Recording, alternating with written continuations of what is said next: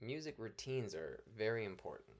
So that would mean singing a song at a regular time of day or during a specific event, like a hello song, a goodbye song, transition songs, before lunchtime, but also like washing the hands, putting on the shoes, um, cleaning up certain activities, uh, closing a sandbox.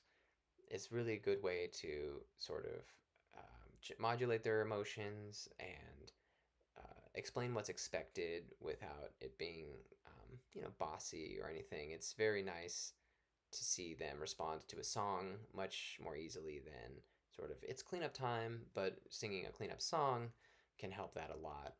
It also just makes the environment much more pleasant for everyone and encourages a lot of language development, especially for the small kids. It's a good idea to have the song be the very same song each time you do a certain thing.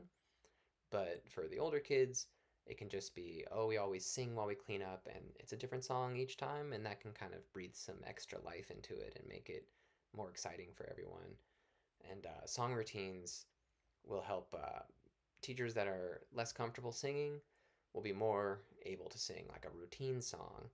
So it can kind of bridge the gap for the staff to be more sing-songy and then maybe they'll start singing during activities, making up songs as they go. Um, so do try and establish at least one song routine somewhere in your day.